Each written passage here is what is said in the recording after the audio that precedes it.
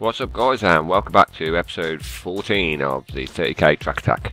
This time we've got an entrance from Triple X Skyrocket and he's gone for a 1997 BMW M3 as well. We already had one of these around the track from uh, Was Wild but the difference with this one being this one's a no aero so it's got no Forza aero on it whatsoever so this is going to be the first car that we've had with no aero and uh, it's going to be interesting to see how it does against the other cars because every other car so far has had uh, Forza race aero on it so uh, it should be very interesting.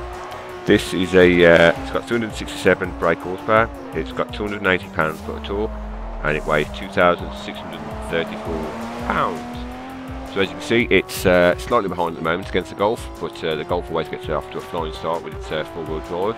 And as we come to the split, you can see at the moment the uh, BMW M3 is just over half a second behind the Golf. Um, the twisty bits uh, was a bit of a struggle for the power down, having a little aero, but the one place it did show up the most was the place that's coming up now, the follow through. And you can see as the BMW M3 goes around there, it, uh, it's lights its tyres up slightly, we're getting a bit of tyre smoke. But uh, even saying that, it still carries 119 miles an hour through the speed trap, so it's uh, still got good pace through there. Coming up to the final two corners, you can see the BM's uh, fair bit behind here, but uh, it's still going to set a fairly impressive time, I believe. Uh, last corner, turning in on the power and across the line. So you can see Triple X Skyrocket's BMW M3 No Aero fell in at the number 10 spot with a 117.633. Anything that gets in the top 10 on this at the moment is uh, is a very impressive time.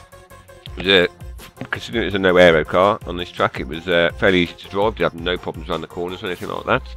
Uh, you can see that uh, Saber's Camino SS gets dumped into the second page now on uh, number 11 spot. And uh, that's it guys. So as always, if you enjoyed this and you want to see more, hit the like button or leave me a comment. And Until next time, I'll see you all soon.